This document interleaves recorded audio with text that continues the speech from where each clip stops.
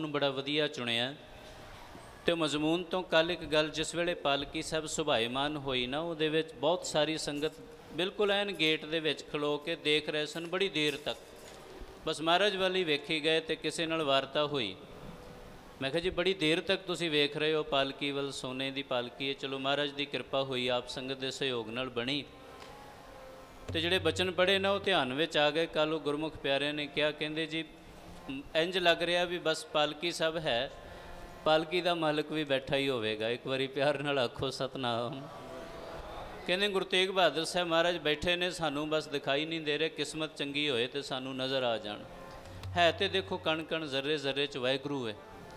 ਸੁਭਾਏਮਾਨ ਤੇ ਉਹ ਹਰੇਕ ਜਗ੍ਹਾ ਪਰ ਆਪਾਂ ਨੂੰ ਪ੍ਰਾਪਤ ਕਿੱਥੇ ਹੋਣਾ ਹੈ? ਦਰਸ਼ਨ ਕਦੋਂ ਹੋਣਗੇ? ਦੀਦਾਰ ਕਦੋਂ ਦੇਣਗੇ? ਇਹ ਸਾਰਿਆਂ ਦੇ ਭਾਗਾਂ ਦੀ ਗੱਲ ਹੈ।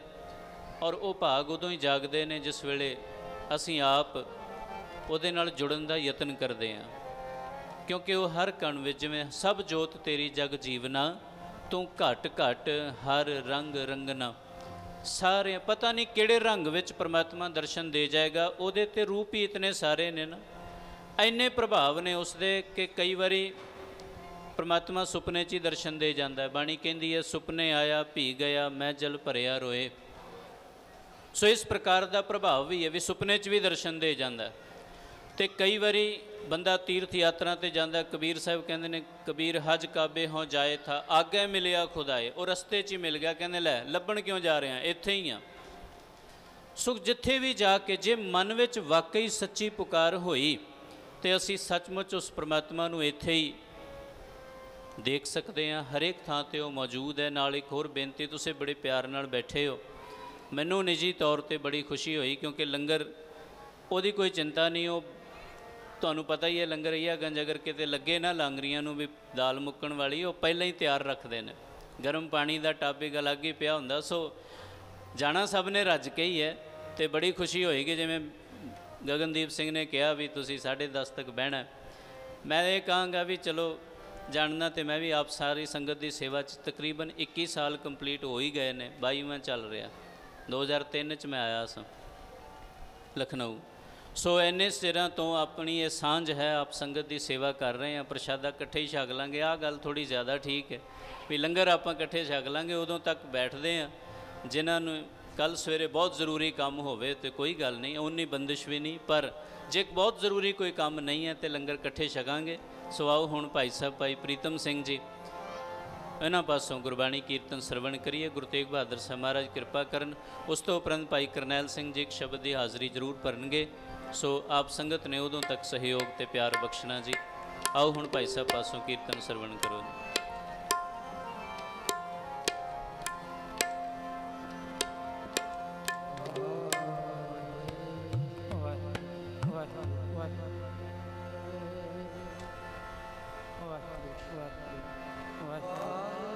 来来来过来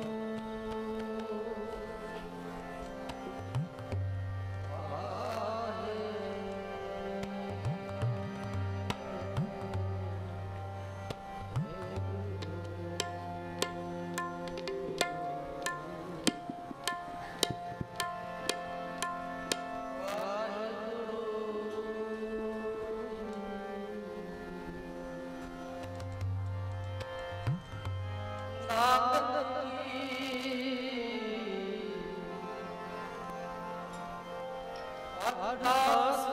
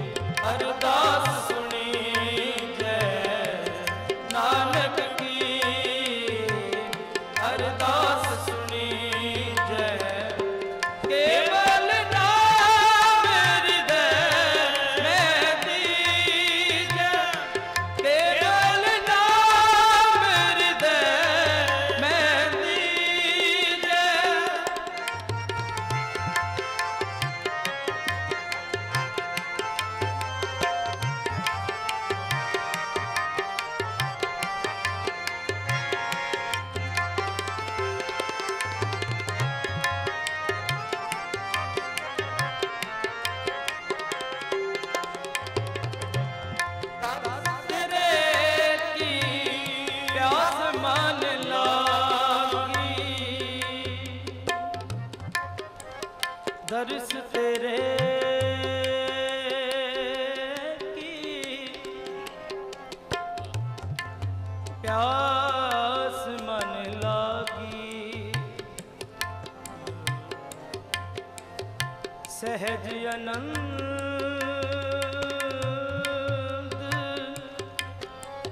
ਬਸੈ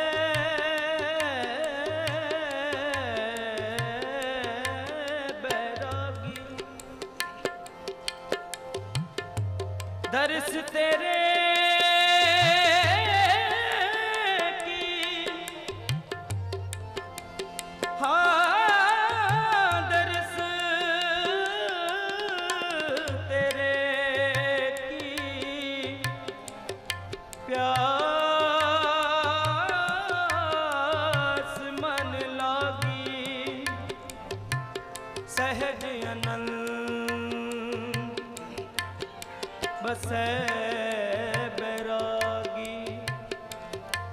ਸਹਿਜ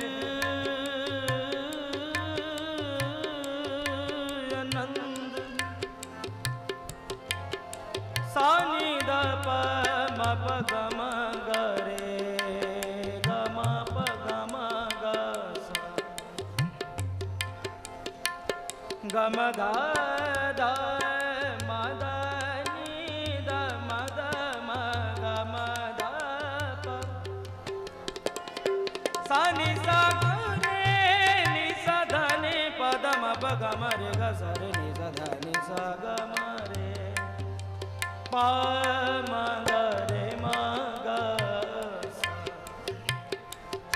ਦਰਸ ਤੇਰੇ